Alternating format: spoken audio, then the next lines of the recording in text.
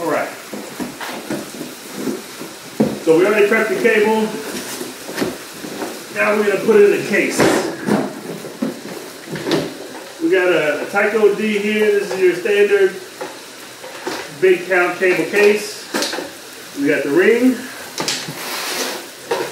the back, I'm not sure what that's called, and the lid. Okay. I have a, what is it, 3 eighths. First thing you want to do is you want to come over here, unscrew these a little bit, move it out the way, and tighten it back again. I'm talking about these tabs right here. And unscrew that, then tighten it back just a little bit. Make sure your drill is on the lowest setting. Uh, you're gonna strip these out real easily. Now, if you have a double-sided can wrench, I prefer to use that honestly. I just don't have mine with me. Okay.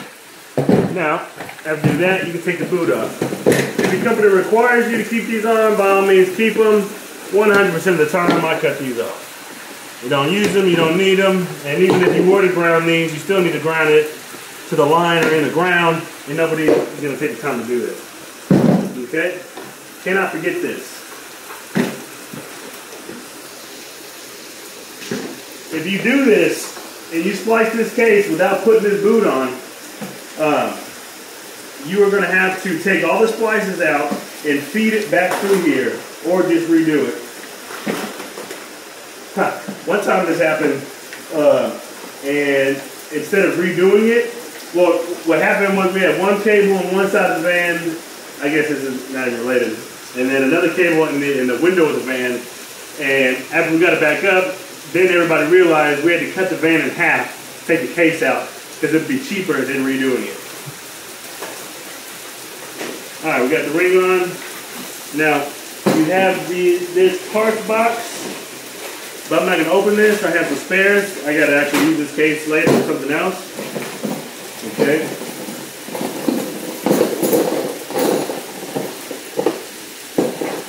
Now I'm only putting in two cables, so I only need two of these. These separate into here. Alright, I got these two. I need the rings to, to match the size. It's only a 48 count. So we're going to go ahead and use a small ring. And honestly, I use a small ring on everything except for um, uh, uh, 288 and possibly 144 if it's a thick jacket. Okay. These two, and then these also come in. So these come in different sizes. All right, this one uh, for obviously the big count cable. That's pretty smaller one, and then these come into different sizes as well. Now, if the trick membrane is too big, you obviously need to use a big, bigger one. So I use two of these. And now while I'm out in the field, I don't set all of this up. Um, I only use I only use this because the cable's not coming out after this, but for all intents and purposes, I'll just show you the right way. If somebody asks, you're gonna need to know. So, take this off. All right, one fourth.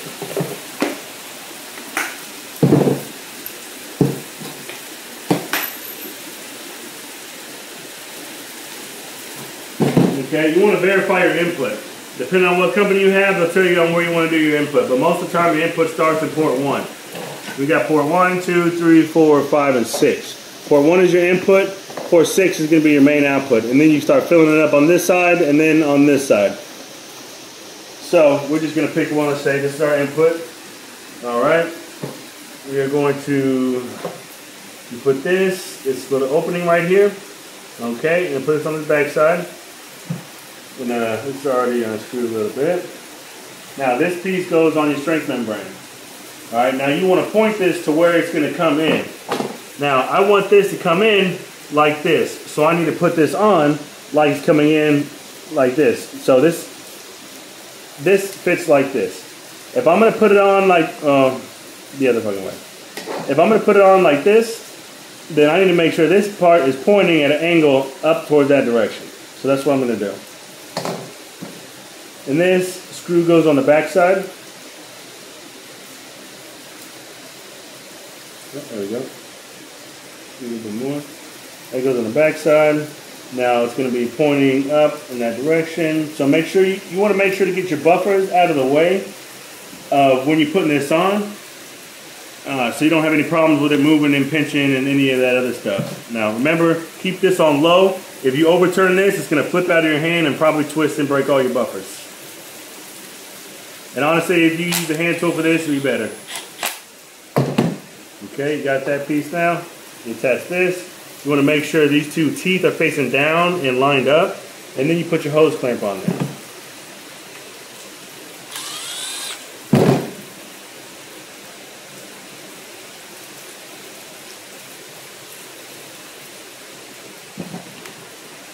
Now I move pretty quick all the time when I'm doing this, so I always use a drill. And I just got a low power drill uh, that'll let me just have one setting and, and be fine with it. So I have this in, I moved it a little bit, so that's, that's obviously not pointed up. And actually, if you look at it, it got off, off center a little bit. I'm not paying attention.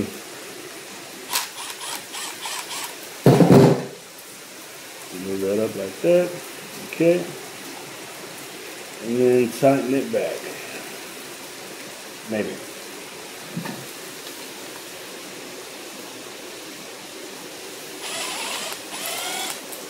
Nope, I'm wrong way.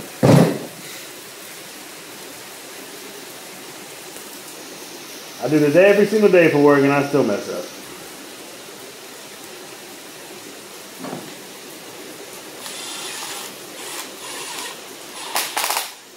Okay. Now this is pointed up, so whenever I go to put this into the case, it's just gonna slide right in. Let me turn this. It's just gonna slide right in. Now this isn't a big problem with smaller count cables, but if you get a 244, 288, uh, even 144s, and you put this in here angled wrong, and you're sitting there trying to twist it, you're gonna have a you're gonna have a uh, more of a problem than you want to. It's just easier to put it in place how it's gonna go. I'm gonna do the same thing for the other side. All right, this is a little long.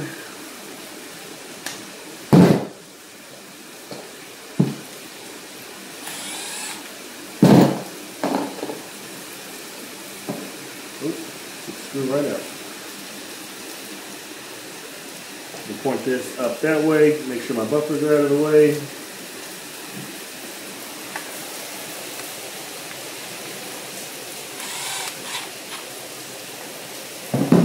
And again, like I said, all I really do is put on uh, these black pieces and the hose clamp because this doesn't really do anything for you, if I'm being honest. And I've never had a complaint from doing it this far, uh, doing it like this so far, so that's how I'm going to do it. Is there another small? I thought I had two of them.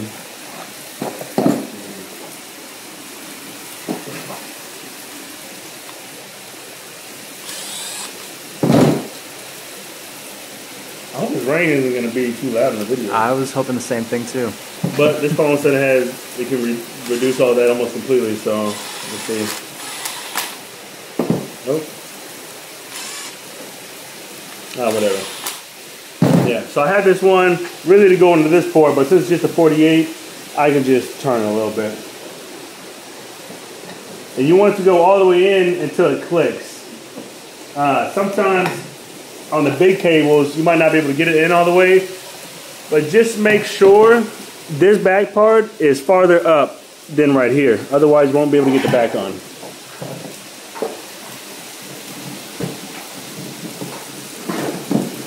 All right, next we're gonna have the gel pack.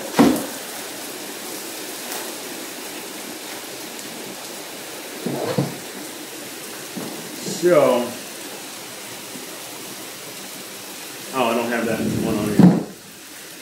Normally I cut this off, put this on a drill bit, uh, uh, drill, and just screw it in. But I don't have it with me. And technically you're not supposed to do that, so.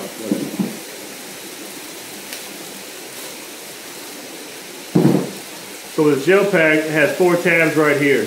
You want to put this right in the middle. We have one on each side, so we're going to open up both sides. This needs to be facing back. Good. Slide it in there.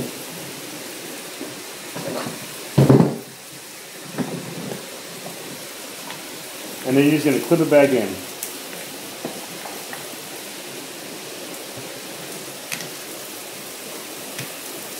Okay, that's clipped in. We're going to slide this back piece on.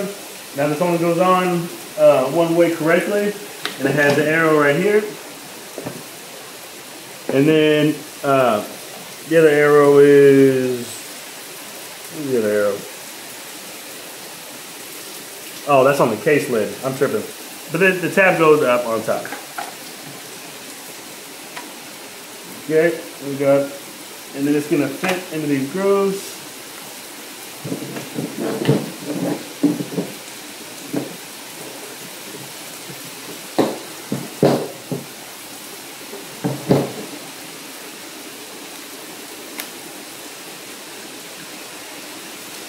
And we're just gonna tighten it back on.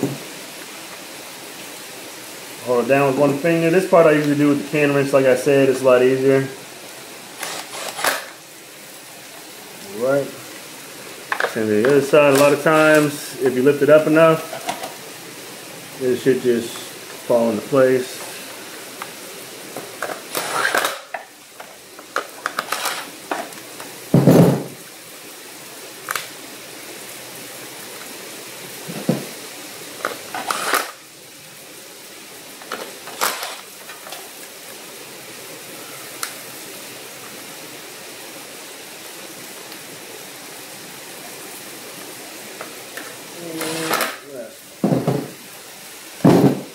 Okay, now all you do, or not all you do,